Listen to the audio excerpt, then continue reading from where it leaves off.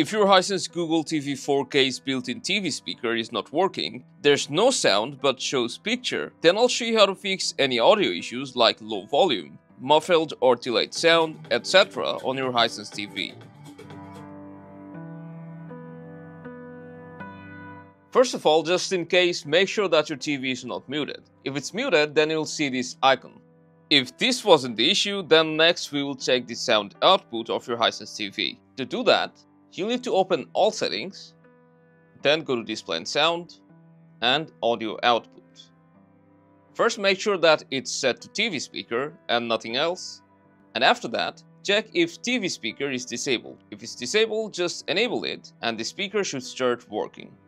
If there's still no sound coming out of the TV speaker, then let's try cold booting your Hisense TV. To cold boot your TV, you'll need to unplug the power cable and in case your TV has a soundbar connected via HDMI or optical cable, you should also unplug them just in case they are causing the issue. And while your TV is unplugged, wait for around 5 minutes, then plug your TV back in and check your TV speakers. If the problem persists and you're having issues like one side not working or the sound is muffled or delayed, then what will definitely fix it is resetting your TV's sound settings. To reset it, you'll need to open all settings once again and go to display and sound and from here, go to sound.